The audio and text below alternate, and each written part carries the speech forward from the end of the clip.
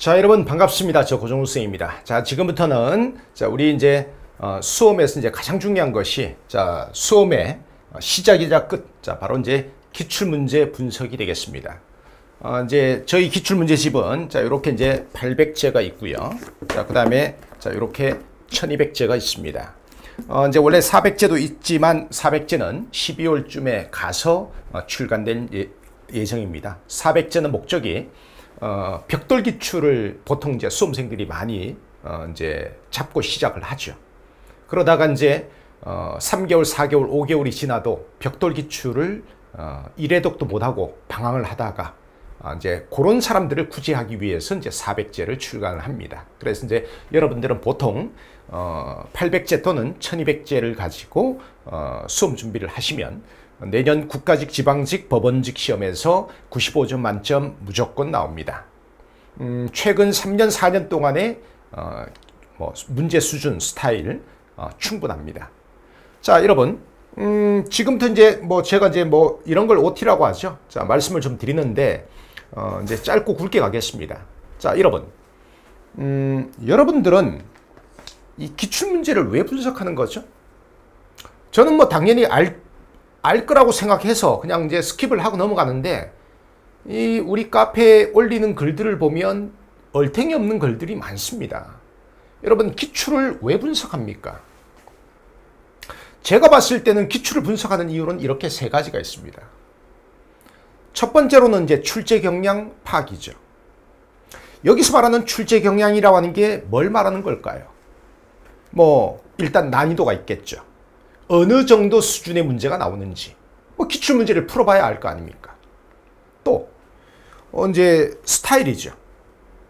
음, 수능이나 한능검처럼 어, 탐구 자료를 주는 자료를 전부 제시하는 형태인지 뭐 단답형도 나오는 건지 뭐 그런 걸 풀어봐야 알 거 아닙니까? 그 다음 이제 중요도 파악이겠죠. 대단원 중단원 간에 전근대사와 근현대사 간의 비중 그 다음에 대단원 간의 어떤 비중 그 다음에 이제 정치사와 그 다음에 이제 사회경제사, 문화사가 어느 정도 어떤 비중을 갖고 있는지 기출문제를 풀어보고 분석을 해봐야 여러분들이 알 거 아닙니까? 그래야 여러분들이 다시 이론 공부로 돌아갔을 때, 어, 그 중요도, 거기에 맞게, 어, 공부를 하는 거 아닙니까? 우리가, 제가 여러분들한테 늘 강조드리는 게 뭐죠? 이론과 문제풀이의 상호작용 늘 강조드립니다. 자, 기출문제 분석을 우리가 왜 하는가? 첫 번째 이유 제가 설명드렸습니다. 출제 경량 파악을 위해서 하는 겁니다. 여기서 말하는 출제 경량은 뭘 말하는 거죠? 뭐 난이도, 그 다음 이제 문제 스타일, 자 그 다음 이제 전근대사와 근현대사, 대단원 간의 정치사와 문화사, 사회경제사 다 뭡니까? 이게 어떤 그 이런 중요도 파악 이런 걸 말하는 것이죠. 자, 그러면 우리가 기출문제 분석을 왜 하는가? 두 번째 이유는 이론을 다지는 거죠. 음, 여러분, 그냥 이론 강의를 들으면서 또는 요약 노트를 달달달 외우는 게 여러분들은 이론 공부라고 생각하십니까? 그것도 이론 공부의 한 방식이죠. 하지만 이론을 다지는 과정은 아주 뭐 우리가 이제 뭐 씨줄 날줄 그런 표현 쓰잖아요. 이렇게도 정리하고 이렇게도 정리하고 뭐 예를 들어서 음, 이론 강의를 들으면서 요약 노트 순서로 쭉 정리하는 게 뭐 이렇게 정리하는 거라면 어, 기출 문제를 풀면서 이제 이론을 다지는 게 또 뭐 이렇게 정리하는 것도 되겠죠. 맞습니까? 자, 여러분들이 기출 문제를 풀다 보면 어, 강의를 들으면서 이론 강의를 여러분들이 들어, 들으면서 정리했던 그런 것들이 다시 이렇게 실전적으로 정리된 느낌을 좀 받을 겁니다. 그런 것 때문에 하죠. 그 다음 이제 세 번째로 보통 강사들의 경우에는 이 두 가지를 강조를 합니다. 근데, 이제 저는 세 번째도 좀 강조하는 편이죠. 여러분들이 우리 객관식 시험은요. 문제 푸는 어떤 요령, skill이라고 하는 게 있습니다. 그러니까 이걸 좀 점잖게 표현하면 정답 찾는 요령이죠. 음, 뭐 예를 들어서 뭐 어, 기본적인 skill이 있을 거 아닙니까? 사료나 탐구 자료를 던져줬으면 마지막 두 줄, 마지막 세 줄에 결정적 힌트가 있다. 뭐뭐가 아닌 것은이라고 물으면 탐구 자료는 읽을 필요도 없다. 선택지 1, 2, 3, 4번 중에서 3대1 짝짓기가 되는 거다. 자, 만약에 정치 쪽에서 무슨 무슨 목적을 물었으면 정답은 무조건 왕권 강화다. 사회경제 쪽에서 뭐뭐 뭐뭐를 던져주고 목적을 물으면 이거는 국가지정 확보다. 이런 거 여러분들이 기출문제 좀 풀어보다 보면요. 딱 보입니다. 그냥. 그냥 보입니다. 탐구 자료가 없다? 이건 무조건 말장난 문제죠. 이거 기출문제 풀어보면 진짜 그렇습니다. 자, 어, 보통 강사들은 이 세 번째를 강조하지 않지만 저는 모의고사나 기출 문제를 풀 때 이걸 좀 강조하는 편입니다. 그래서 이제 우리 수험생들이 음, 뭐 합격 후기나 이런 걸 읽어보면 저는 뭐 그냥 수업 시간에 그냥 대충 제가 800제, 1200제 할 때 제가 한 문제 푸는데 저 한 30초밖에 안 걸리거든요. 빨리빨리 문제 핵심 탁탁탁 치고 넘어가는데 수험생들은 지금까지 들은 강의 중에서 모든 과목 통틀어서 우리 기출문제 강의가 제일 좋았다는 거야. 나는 그게 뭐지? 예, 수험생들은 이런 걸 느낀 거죠. 아, 정답 찾는 요령. 어떤 문제 푸는 스킬. 아, 이런 게 객관적으로 존재하는구나. 최소한 한국사는 그런 문제 푸는 skill이라고 하는 게 존재하는구나. 별것 아닙니다. 여러분들이 조금만 강의 들어보고 모의고사 강의 한 번만 들어봐도 금방 여러분들이 캐치할 수 있습니다. 뭐 대단한 거 아닙니다. 저도 고등학교 때 제 스스로 깨친 겁니다. 자, 그 다음에 음, 두 번째로 하고 싶은 얘기는 1200제와 800제의 차이가 뭘까? 뭐 계속 질문 나옵니다. 쌤, 일행 준비하는 사람들이 800제 봐도 될까요? 됩니다. 뭐 기술직 준비하는 사람들이 1200제 봐도 될까요? 되긴 되지만 권장하지 않습니다. 음, 1200제라고 하는 거와 800제의 차이는요. 동일 주제 반복 정도입니다. 예를 들어서 어, 실제 6년 동안의 기출을 보면 광종은 13문제가 나왔습니다. 고려 광종이 13문제가 나왔습니다. 근데 그 문제들이 거의 다 똑같아요, 문제가. 사료도 똑고 심지어 사료도 똑같습니다. 그거 반복해서 풀면 학습 효과 있을까요? 저는 없다고 봅니다. 그래서 제가 맥시멈 8문제까지 살리는 겁니다. 사료 완전 똑같은 거 빼고요. 지문 완전 똑같은 거 뺍니다. 그래서 자, 그 다음 너무 쉬운 문제, 보자마자 답 나오는 문제 뺍니다. 그렇게 해갖고 1200제는 8문제까지 실었고 광종을 800제는 광종을 4문제까지 실었습니다.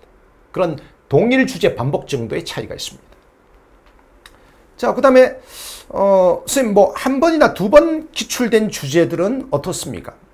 800제도 1200제도 다 실려 있습니다. 심지어 400제도 한 번, 두 번 출제된 주제도 다 실려 있습니다. 아시겠죠? 음, 난이도는 어떨까요? 객관적으로 1200제가 좀 더 어렵죠.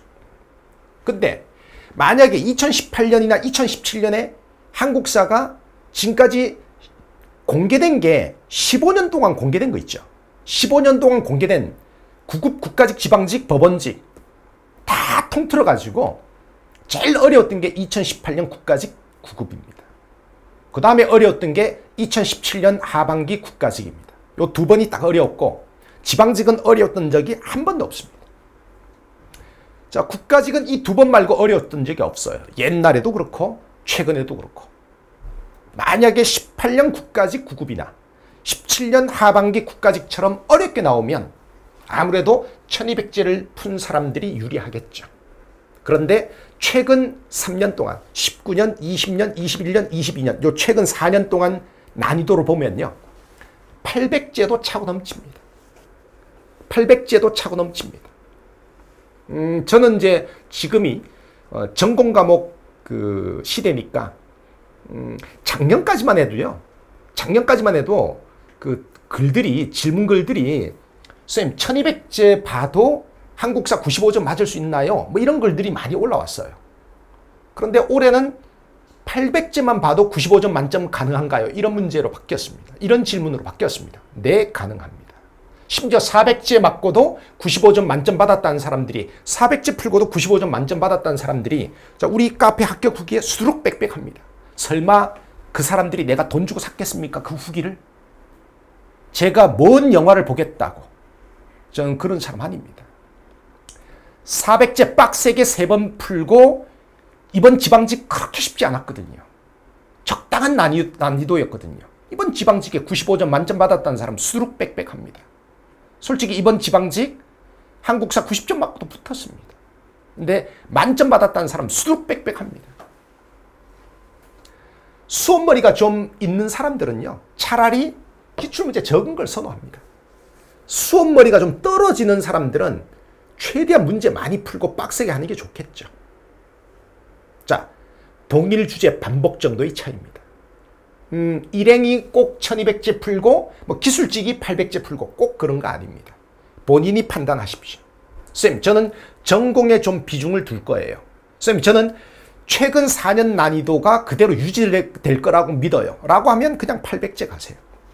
쌤, 제가 생각해 보니까 꿈을 꿨는데 2023년 국가직 구급이 진짜 존나 어렵게 나온대요. 제가 그런 예지 꿈을 꿨어요. 하는 사람은 1200제 푸세요. 그래야 95점 만점 안전하게 나옵니다. 근데 저는 그 가능성 정말 아주 아주 낮게 봅니다. 여러분 그 한길의 난이라고 들어봤죠? 그 한길의 난 이후로 한국사는 아주 평이하게 나옵니다. 깔끔하게 나옵니다. 지금 국가직 지방직에서 출제자들이 뭐 저도 한 달이 건너서 바로 다이렉트로 아는 지인들, 국가고시센터 출신들 많습니다. 그 양반들한테 이야기 들어보면요. 가장 두려워하는 거는 소위 정답십입니다. 그러니까 이제 무슨 뭐 다른 거 부담도 이 정답 시비가 일어나면 요즘에 끝까지 재판 가거든요. 그러면 국가고시센터나 해당 출제자가 엄청 부담스럽습니다. 그러다 보니까 논란이 되는 출제를 하지 않겠다는 게 확실하죠. 그러면 논란이 되는 출제를 하지 않는다는 건 뭡니까? 그렇죠. 이제 고등학교 교과서에 근거해서 지금까지 역대 기출에 근거해서 그 다음에 이제 단순 단답형 문제를 주면 사고가 날 가능성이 높죠. 그러니까 탐구 자료를 주면 자 이건 깔끔합니다. 그래서 이번 지방직의 수문제 전부가 탐구 자료를 줬죠. 지금까지 15년 동안 수문제 전부를 탐구 자료로 다 준 거는요. 이번이 유일합니다.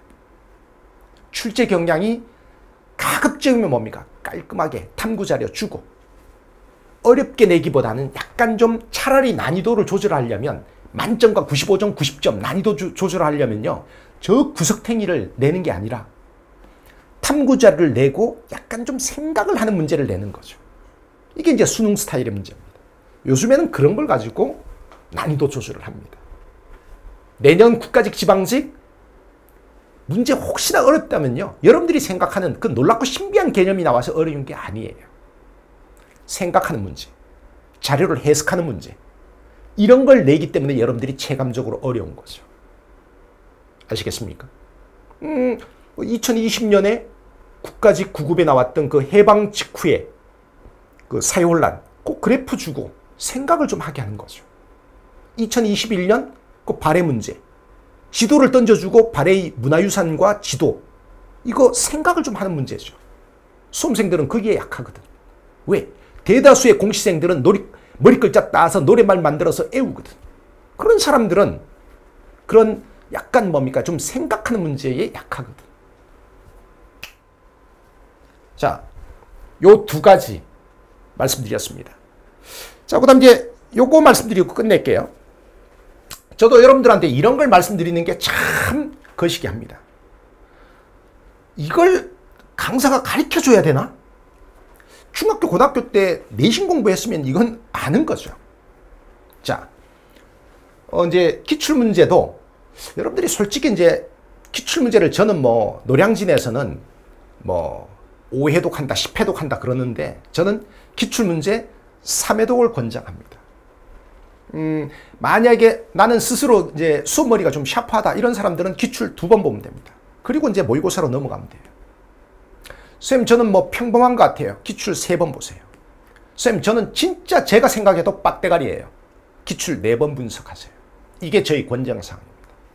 자, 그런데, 자, 기출을 영원히, 영원히 푼다. 어떻게 해야 되, 죠 먼저 이제 해당 중, 중단원을요, 어, 뭐 요약 노트든 뭐 기본서든 상관없습니다. 뭐 강의를 들어도 되고 혼자서 이제 해당 그 중단원을 머릿속에 좀 살짝 좀 정리를 좀 해줘야 되겠죠.